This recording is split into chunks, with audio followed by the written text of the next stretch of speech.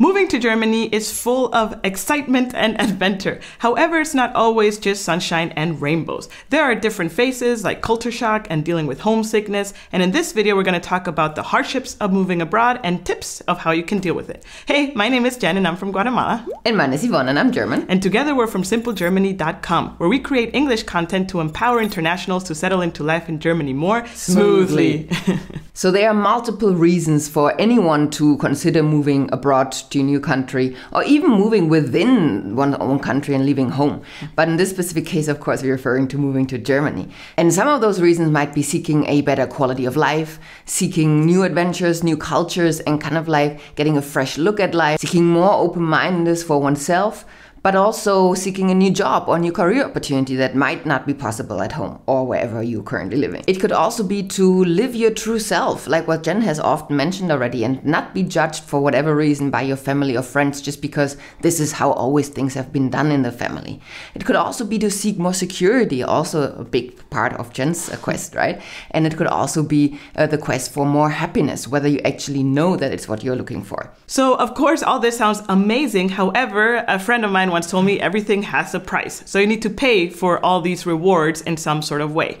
Some of those payments might be leaving behind your family if you're not moving with them to Germany, leaving behind friends, you know, like friends from home that you probably grew up with, leaving behind your culture, your language in some cases if you don't come from like the German speaking areas, of course. you could also potentially be leaving behind your job or career path opportunities in your home country to start uh, maybe from scratch a new career in Germany. And also, most likely, you will leave behind your food, which in some cases, in my personal case, it's one of the things that I have struggled with the most, I would say. So when you land on, in Germany, or if you have been here for some time, you are probably familiar with the stages of moving abroad to a different country. And uh, doing some research, we found that actually there are five stages when you move to a new place. Stage number one is preparation. Right. In the preparation phase, as many of you are in, it's exciting. You're, there's also a little bit of nervousness, sometimes a little bit of overwhelmedness, you know, but generally speaking, it's like a positive feeling. Yes, also some sense of fear, maybe doubt. Should I be doing this? Is this the right decision? But I would say, generally speaking, if moving to Germany is the thing you want to do, is more excitement than the other emotions. And then when you land to Germany comes the very beautiful phase, which is phase number two of honeymoon phase that is when you're in love, right? When you're in love with a new place, that is when you everything that you see and notice is exciting and beautiful, and it's just this perfect picture that you, of course, had painted before in your mind. Yes, of course. And according to some research, this, I mean, it's very individual how long this phase lasts for each person. But on average, it could last around two months where everything is just fresh and exciting, like you say. And it's just, you know, the honeymoon phase where you're just in love and so happy to be in a new country. Despite the bureaucratic hurdles. Exactly. Which hopefully we, we help you uh, beat a little bit. Yeah. but then comes phase number three, and that is actually the culture shock phase. The culture shock phase can last, again, it depends on every individual, between 6 to 12 months. So it really takes some time to adapt, pretty much. And that is, you know, filled with confusion, with feeling lonely, with feeling out of place, hmm. with doubting what the hell am I doing here? Why am I not with my friends and family? I will never learn the language fully. All those overwhelming feelings. Yes, definitely. And especially during this time, it's crucial that you are aware that the sense of homesickness will kick even stronger than what you felt maybe in the honeymoon phase or you will feel after that. And then comes what I consider the golden phase, which is phase number four, and that is adaptation. And that's when you finally feel like you're settling in. I must say again, it really depends on each person how long this takes. Honestly speaking, for me, this took around two years to actually feel that I was starting to understand how things worked in Germany, trying to get the feel for it, you know? Um, and that is a very long time if you think about it. I also have to be very honest, and two particular things happened that actually helped me feel a little bit more settled in. Number one is starting to learn German more and trying to speak more, at least on the streets, in the supermarkets, maybe at the bars and places like that. And number two is actually meeting Yvonne. I would say having a German partner is really helpful and it's like a key to unlock a little bit of the culture and to pick the brain a little bit of why things work a certain way and trying to understand and just have open conversations of the cultural differences. So yeah, which doesn't mean that you need to have a German partner. No, definitely not. But I'm just saying from my experience, yeah. these are the two things that help me to adapt. Other people have found other ways ways to adapt, of course, uh, but I can only speak from my personal yeah. experience, right? and phase number five is the so called repatriation, or also known as reverse culture shock, which, you know, there's also quite a few videos out there when uh, people, especially uh, US Americans who have lived in Germany, go back to the US and then have their reverse culture shock because suddenly what they knew home was like is different or they don't understand anymore because the way things work in Germany are so different and it all just is a mix and you're feeling confused about everything and kind of like you don't belong home anymore either. So that could also happen. Yes, that's true. I would say this phase number five especially is true if you decide to move away to Germany to go back home. It's not necessarily, um, you know, just because you go and visit, you might feel it, but if you decide to move back home, this is when the fifth phase kicks in again. But in this video, we're going to actually concentrate on phase number three, which is culture shock and how to deal with the homesickness. now, when talking about culture shocks, often people or we imagine like this one big thing that just kind of like derailed you, but that doesn't have to be the case. Usually, culture shock comes with very many few little details that just all pile together and make you feel confused, like in just very many different situations. Yeah, something as little as not having seamless conversations. It might seem so trivial, but if you think about it, maybe at back home with your mother tongue, you were just able to engage with people in conversations and ask questions, and it was super fluid and easy. In Germany, because it's German, right? and if that's not your mother tongue, then of course that becomes an extra hurdle and effort to try to how do I communicate this? How do I say these things? What are the words needed? And suddenly it becomes this mush of, of things that maybe the thing you want wanted to ask, you don't end up asking it because it just became so confusing in your head. And it's actually quite a draining process, I would say. Especially because we also know through studies and other experiences, also ourselves included, that when you speak a different language, your personality somehow changes. The tone the, of voice changes. The tone of your voice, the personality, also like the words that you use because uh, it's different communication methods, so to speak, right? Humor changes, uh, so that's also super interesting. So it might seem as a trivial thing, but that just it becomes an exhaustive thing that you need to do every day in a new country. Which you know, after some time, it's like okay, I, I kind of need a break from all the German speaking.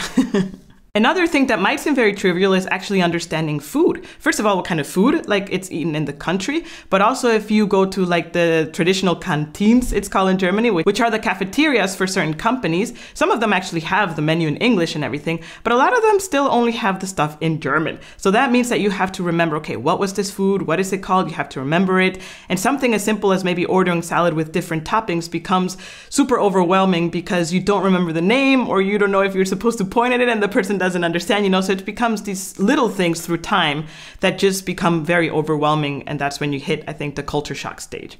If I have to talk from my personal experience, my culture shocks happen specifically when dealing with a lot of rules and regulations which are in Germany compared to my home country Guatemala where there are there are rules but like do people follow them? Not necessarily. Versus here in Germany, everyone, or the majority of people, we cannot generalize, right, are so proper, right? Another thing is dealing with humor. I still don't understand German sense of humor most of the times. I understand it a little bit. I think I've cracked it a little bit, but not to the extent that I'm super confident in it. I tend to be quite a funny person, I think, and uh, it's been hard to adapt on saying a joke that actually makes Germans laugh. Yeah, but you've you've entered that area. Sometimes, because sometimes I still say a joke and everyone just looks at me like, what? it still happens.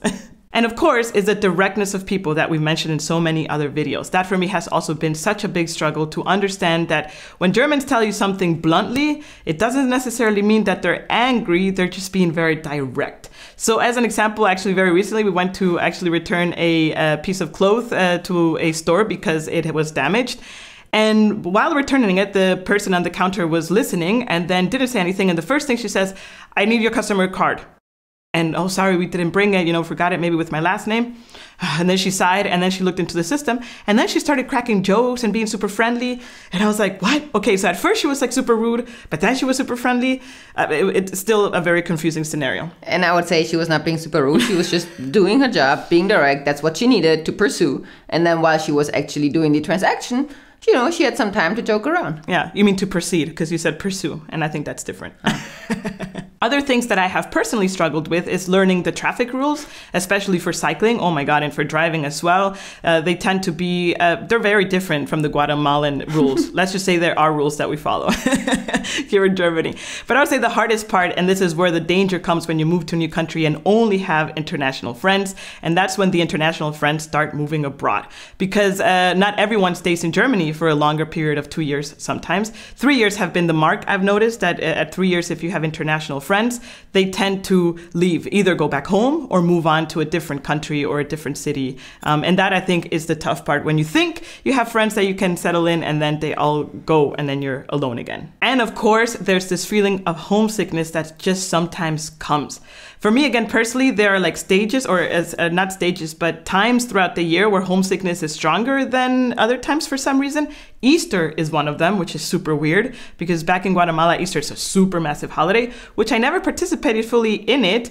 But it's You just know it this time, exists, right? right? Yeah. Yeah. yeah, and it's this time that everyone is just off, and there's like parties and fun. I did participate in those part of things, but it's a big religious thing as well. Different topic. Um, and Christmas also is a big time where I sometimes feel homesick, uh, just because of the different traditions and the different things that we used to do back home that are so different. Yeah, and it's Germany. family time. I would say Christmas is probably the number one time where you feel homesick. I felt homesick back in the day when I was in the US over Christmas. Yeah. Uh, on the ships, it was always, you know, it's just a sense of like, it would be nice to be home right now. But. Yeah. then um, you just mingle and it gets better. Yeah, that is true.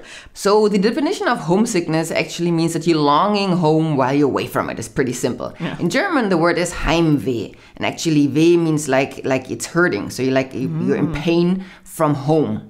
That is super interesting. Interesting fact, actually, is that in the 18th century, there was a word invented called nostalgia, which we all know about it, right? And actually, nostalgia means the acute homesickness. So in the 18th century, 19th century, according to this TED talk that I saw, homesickness was a thing, especially because this was a time where a lot of people were migrating everywhere, conquering in some aspects as well. And homesickness was actually like, um, very strong feeling that a lot of these people had to the extent that for acute homesickness which was also considered i don't know if it was really like a sickness per se the word nostalgia was invented. And homesickness was part of poetry part of like paintings part of even news uh, news articles of people actually um, sometimes even committing suicide because they were homesick. It was a really big topic. But somehow in the 20th century homesickness is no longer talked about even though i would say we probably live in a more movable or like where people move more uh, era Yeah, so it becomes maybe also more standard of living in a way, like standard of life. Yeah. And nowadays uh, we would say that homesickness often gets referred to being weak, right? Not being strong enough to endure being away from home. Yeah, which I think it's kind of like a little a little trap that we all fall into because it shouldn't be seen that way. It should be seen like in the 19th century as something and a feeling to be acknowledged and to be treated in a way through Yeah. different things, right? A very subjective opinion opinion of mine is that it depends how strong your homesickness is, depending on whether you moved to Germany because you wanted to, and that's a thing that you it's your dream and you want to be here, versus if you were forced to. And I also would say not only that, but also whether you're moving to Germany with an open-ended time frame, or hmm. you're moving to Germany or any other country with I know I'll be there for a year or two. Also true because that if you have an end date you know okay i might make the best out of it and you don't feel it as much as you know you're moving your whole life and then you're not going back home ever right? And also for me i've realized a lot of the times homesickness has to do with this romanticizing the idea of how life in guatemala was. So i tend to romanticize oh i used to for example eat this dish and that's not true. Sometimes I would probably eat it once or twice in my whole life, but I just romanticize the idea of it. Another example that I have is maybe romanticizing the idea of speaking my own language. Yes, we do speak Spanish in Guatemala, but it's a Guatemalan kind of Spanish where, of course, you have your slang words and like you, you understand each other very coolly. um, and of course, it's this "Ah, I wish I could speak so easily with someone. And then when I'm back home in Guatemala, well, this is home. Oh, or I'm- you're on the phone. or I'm on the phone, I get to speak my mother tongue. I would say it's broken a little bit because of the amount of years that I've been away. However, I've realized that because my life has evolved into something completely different in Germany than the life of my friends in Guatemala. So even though we speak the same language, our mentality and and, and views of life have totally shifted. So at the end of the day, maybe speaking someone in English that is more aligned to the mentality that I have now, it's more rewarding than actually speaking my mother tongue with friends where it's a little bit more certain topics we don't talk about, certain things, you know, it's hard to explain. Where the language is fluid, but not the conversation per se. Hmm. So now that we have all this context, here are six tips that we have uh, discovered that helps, at least for my homesickness, which maybe help your homesickness as well.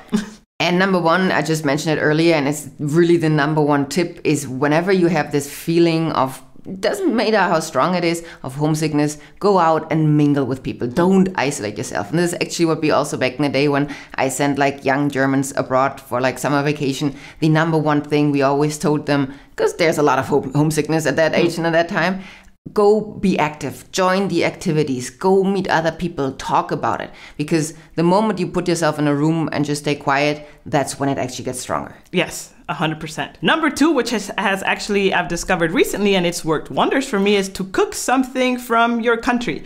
I'm not a great uh, kitchen cook person. Actually, I am a sous chef to Yvonne's amazing cooking. so obviously, there's a lot of dishes in Guatemala that are like super complicated to make, and maybe one day I'll be able to make them. But I try to get like the the easy ones. So recently, actually in Dusseldorf, there's a market called Karlsplatz, and there we discovered that they sell hibiscus uh, dry leaves. And in Guatemala, like in other parts of, of, of, Latin America, like Mexico, I know, for example, we drink hibiscus tea. It's called hibiscus tea for summer. So when we discovered this, we immediately went home. I did, I, I Googled like Guatemalan hibiscus tea. We actually did it at home. We actually shared, shared it with some German friends who absolutely loved it. And that was just such a nice feeling to have a little bit of a taste from home in Germany. I would say it wasn't 100% so as my pleasing because uh, Yvonne prefers it with almost no sugar, which makes it a little bit too bitter for my taste, but it was close enough, I would say. So again, it doesn't have to be this complicated dish that you do. It can be just a little thing. And if you're wondering, where do I get my stuff, Jen? Actually, in Germany, there's tons of specialty stores that you can just Google, for example, Latin American stores in Dusseldorf. And actually, there's at least three that I know of where they sell Latin American products. So just make sure to like find your speciality and, and Google it. Another thing is that a lot of sometimes Turkish and African specialty stores tend to have also Latino things in it, funnily enough, or Arabic things. So there's a mix and match. So as long as you find an, a specialty store, your bet that you will find something from home is very high. Yeah, also in the like um, international sections in larger supermarkets. Yeah, not going to taste 100% the same, but close enough, close I would enough. say. Number three is to find friends or community from your home country or as close as it gets to your home country. Right? For Jen, it's rarely Guatemalans just because they're like very rare, yeah. but mainly like Latino in general. Yeah. And of course, as much as we encourage you to find German friends, it is also important to have someone you can talk to that relates to your situation, that has gone through what you're going through, right? And not every German might be able to do that if they have not lived abroad yet, for example. So just find, you know, a community where you um, find some some support and some understanding whenever you um, feel maybe a little bit sad or down. Yeah, exactly. For example, in our case, we have a lot of Mexican friends in our life. And interesting enough, it's like a Mexican German couple most of the times, right? So it's really interesting because we can talk both, and I think you can also talk to the Germans from a perspective of dating a Latino in wow, certain I cases. talk more to the Latinos. but also we can relate with the Latinos of dating a German. And that's, it, it, tends to be funny conversations, but I think it's good for the soul. Yeah. Just to be able to, to talk to other people from as close to your home country or your home country in general. Number four, and I cannot emphasize this enough, is to learn German unfortunately. I, I, have to be the first one to tell you that I'm not the best German speaker. I don't think I will ever be, and I have uh, realized that for myself, and I accept it, and it's okay. But I think my German is good enough that I can have small conversations with, with Germans to break the ice a little bit. And I would say you still undermine yourself, because by now they are not, they're way beyond small conversations. I think the feeling that you have why you don't say big conversations is because if it's a group of people, hmm. just like with any foreign language, I would say that you're not 100% sure of is that you get overwhelmed when there's too many locals talking in their own language and you're just there trying to pick up the conversation. That's true. Or it's like a one on one conversation with hmm. someone extremely academic that mm. uses vocabulary that even I sometimes struggle yeah. with. so your German is good, it's not 100% fluid. Yeah, thank you very much. However, I think the learning the German really breaks the ice with Germans. Uh, I have this example that I worked in this telecommunication company where the majority of people were German. And I think because I made an effort to speak German to the German speakers, not forever, obviously, but good enough, um, that it broke the ice and they saw me more also like as a friend and they would invite me for coffees and beers and parties versus other international coworkers, they would only uh, speak English and not make an effort and I, and they would rarely get invited to these uh, events I don't know, like it has. I think it has a correlation in a way because I think, uh, correct me if I'm wrong, Germans, but if you make an effort to Germans in the first attempt, that gives a very good impression, and then Germans tend to relax a little bit and are okay with opening a little bit more in English and and also get curious. Yeah, yeah. get curious. Our tip number five is that you should probably not spend the most amount of your time on your social media profiles that are filled with images and posts from friends or family at home, yes. because that doesn't help. Hmm. Because you're again living like in a parallel society, kind of like online you're living at home but your real life is happening here in germany or elsewhere and you know you should of course still keep in touch with your family and friends, but don't make that the number one thing or priority in your life here. Yes, give yourself the space and the time to develop your life also here in Germany, and then you can start posting your own stuff just from your life in Germany, right? if you're into social media. Number six is to speak about it. As we said in the 19th centuries, homesickness was a thing that was open in society and people can talk about it freely. So find friends and, and family members that you can maybe talk about it, and usually that helps to relieve the sensation of homesickness. However, if helping with your friends or family does not help, by the way, we're not doctors or by any means a psychologist or anything, but if you have the feeling that you need to talk with someone more professional about this uh, topic, there are tons of services out there that can help you with this. And it doesn't, mental health tends to be a very taboo topic in Germany. So unfortunately, you cannot just go as easy with your public health insurance to a, psych, a psychologist or a coaching or, or anything like that because it's a hurdle, I would say. So you would need to pay for these services from your own pocket. And there's actually a very cool company that just popped up in, um, in Germany and it's called complicated.life. And there you can have an abundance of different psychologists that have different backgrounds from different countries, speak different languages, have even different methods of treating treating patients and you can get a you it's kind of like a tinder i would say so you put your profile and you say what you're looking for and then they match you with the potential psychologist um, and it's quite affordable so if you need help in that sense be sure that you're not alone and there's help out there that can that you can find as well in germany online, by the way. And some of them actually are in person. Or in real life, yeah. Yeah, yeah. So that's pretty cool. Moving to a new country is a very brave thing to do. And you need to give yourself the space, the time, and the kindness to yourself to be able to adapt to the new life. To it's okay to not understand everything at the first try. It's okay to make mistakes. It's totally part of the journey. As I have mentioned before, it took me two years to start feeling somewhat that I can, you know, uh, navigate life in Germany. And it also took me meeting a German partner to unlock the secrets, let's call it, of German culture. However, if I have to speak very honestly, it's only in the past few months that I have realized that, wow, Germany is a country that I don't want to leave and it's going to be my home forever. And that, my friends, has been 10 years in the making. It is not an easy journey, but the rewards for me personally have been beyond the sacrifices that I had to leave home, like many of you have. And it's also okay if you say at some point, you know what? this was too much. The price is too high. I also want to go home. But it's okay that you acknowledge this. At least you tried it and you gave yourself the space and the encouragement to proceed forward. If you would like to know more about my journey and how I ended up in Germany and how all these things happen, then you can check out the video that's there. Make sure to click there. Until next time, cheers!